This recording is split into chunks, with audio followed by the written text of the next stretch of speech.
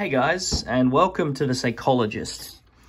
Today I wanted to do a quick video on Seiko's most famous chronograph movement, the 6139. This is a 6139B movement that I have uh, I've just overhauled. And I wanted to talk about some of the particular issues with the 6139 movement, some of the things that we have to address uh, and repair when these come in for restoration. Uh, this particular model is, I believe it's a 7010. Uh, can't quite remember now off the top of my head. Uh, we can see the beautiful dial here. Lovely watch. It's it's aged so well. We can see that nice patina, that nice creamy patina uh, on the lume markers there. We see a little bit of damage on the dial around here, but uh, but nothing too major. Uh, but all in all, such a beautiful watch. Uh, this particular watch was sent to me by the son of its owner, and uh, it's been in the family since it was new and uh, I got a couple of pages of story on the watch when it came in. Uh, I do really like getting those pages of stories because they provide some real real insight uh, into into the watch and it really gives it some special meaning for me. So I actually quite like it when the, when the stories come along with the watch. So this particular 6139B, uh, we can see one of the major problems that these watches can have is uh, the intermediate date wheel here, which is this small pinion underneath here, which uh, if we pull out to set the time, we can see helps engage the date wheel there. Now, that wheel sometimes is made of plastic. Now, when that wheel is made of plastic, uh, they have a problem where the teeth snap off. So that can be one of the major issues um, with the teeth snapping off on these watches. The other issue is changing the date uh, changing the quick date when the date's about to change over and engage.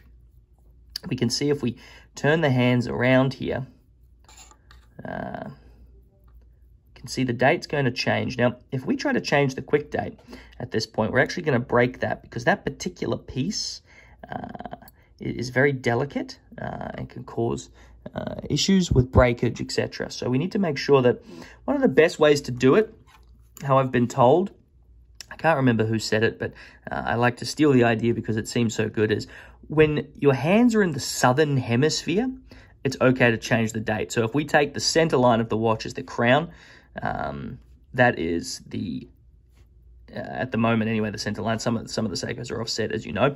But when your hands, if your hands are in the northern hemisphere, don't quick change the date. If they're in the southern hemisphere, below this imaginary equator that we uh, we present here, then it's okay to change the date.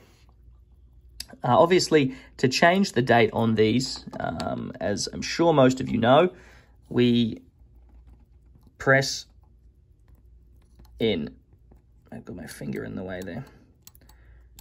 We press in, and that changes the date. Now, to change the day, we press a little harder. Now, what's interesting about the way the 6139 works is we have this lever here, which when this is our jumper for our day indicator. So now the day indicator is not put on at the moment, only the date indicator. But we have our jumper and then we have our quick set lever here for the day indicator. So if you watch, when I set the date, it's, excuse me while I put this back in, it's a soft push. See, I do a little soft push and the date this can be a bit pick, uh, tricky with the way I'm doing it. Uh, there we go. Almost there. It's a soft push, okay? But if I push really hard, watch what happens to this finger here. You'll see that it's uh, always the way when you're filming, it doesn't want to play ball. Never wants to play ball when you film. See when I push hard? See how much more travel it has? So that is how we change the day. And that's the mechanism. When I just change the date, see the inner lever when I push lightly, it really only gets to the tip of the teeth on our hour wheel there. But when we push hard, it goes further. And that is what allows us to change the day on the 6139. Some other issues that come up with the 6139. We can see that this one's been serviced. It's looking nice and shiny. It was pretty filthy when it came in, but uh, after its uh, bath in the ultrasonic tank and overhaul, um, it, it, it's looking quite good now. Um, sometimes the bearings can get sloppy for the oscillating weight. These are the bearings here. Now, usually when these bearings uh, get sloppy, they need to be replaced. But I've actually come up with a method so that we can tighten these bearings up, uh, saving cost to the customer um, and, uh, and getting further extended life out of the watch. Now, we get to the main issue with the 6139. Well, first we'll make sure that our uh, chronograph functions are working. We can see there our column wheels moving as we press, press the functions, and we can see that our reset is working nicely as well. Now, one of the main issues with the 6139 is the barrel, is a sloppy barrel. Now, we won't be able to check the end shake too well, uh, too, too, too, uh, too good here because basically once there's power on the barrel. But do you see how this barrel is sitting nice and flat in between the plates? One of the issues is these Seikos used brass bushings, as most watches do. Most older watches will use brass bushings. But the Seikos have been neglected and let sit for so long that they're so worn. What happens is this barrel actually starts rubbing on the plate here and then rubbing on the top of the bridge. So you might see older Seikos that have a line. This is nickel-plated brass, and then the brass actually rubs, and that causes chaos with amplitude, timekeeping, duration of run, etc. So what we do in this situation is we like to jewel the barrel. We can see here that I have my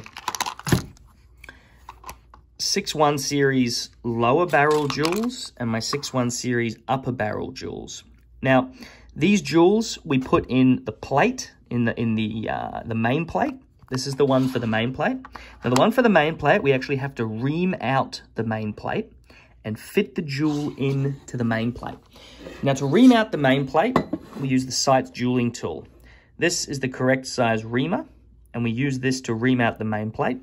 And then we can fit the jewel after we uh, after we um, uh, have have drilled out the hole.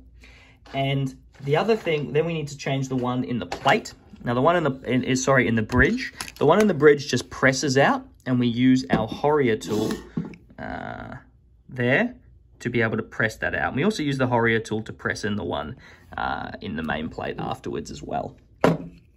We can see what happens. Here's a good example of a stripped down mostly stripped down 6139 movement. Do you see this rubbing and there's wear here, all this dirt? They really wear, the dirt and filth comes out of the barrel as well and mixes, and that is what happens. And also, they just wear inside. We can see how filthy that is. It's very difficult to see, but they wear, and the hole actually ends up oval in a lot of cases. It plays havoc with the timekeeping and the amplitude. And we can see in the top plate, it's kind of the same scenario in the top plate. This, again, filth, absolute filth. So we push that out with our Horia tool, and then we can actually see the wear here. So what we do is we just push that out, and then we pop a jewel in, and then we cut the one out, or drill the one out in the main plate, and pop a, pop a uh, jewel in there. Now, these jewels aren't actually made. There is no size of jewel available that you can buy to do this. So these actually have to be purposely made for this specific situation. Uh, a friend of mine in Australia uh, has them made, has them manufactured. Actually, the same uh, man that makes these movement holders. Um, and so I purchased them off him, and then we fit them in the plates, and we really do get much better timekeeping results and um, uh, duration of run. We get a higher amplitude, uh, and they just generally are well worth the money. So I charge $60 on top of a full overhaul. Um, so that's $60 Canadian to do the barrel jewel upgrade. And it's something that only needs to be done once.